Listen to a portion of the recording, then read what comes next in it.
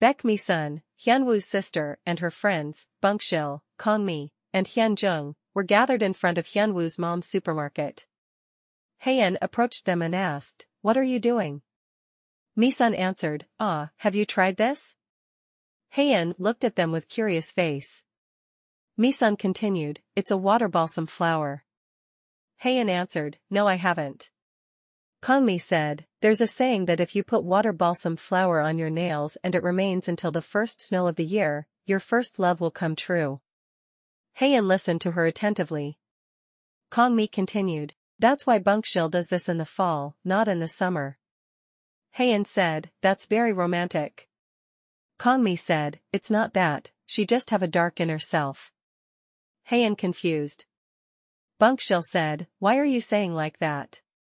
It's because he is now a divorcee. And I keep coming and running into him.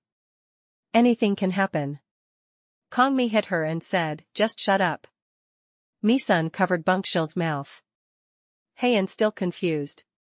Bunkshil said to Haein, sorry sorry, I was being too honest. So don't be too offended. Haein became more confused. Bunkshil said, actually, back then, when Hyunwoo was still in high school, we attended the church together and he flirted with me a lot. Hyunjung asked, when he did that to you? Mi-sun couldn't believe what Bunkshil said.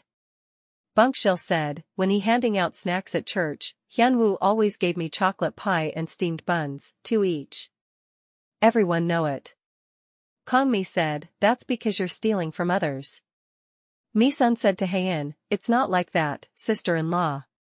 Bunkshil, why are you saying a nonsense? Suddenly, Haein stretched out her hand. She asked, this just need to remains until the first snow, right? Haein wanted them to put the water balsam on her nail. This is connected to the preview of episode 13 when Haein said she wished she is still alive when the first snow come.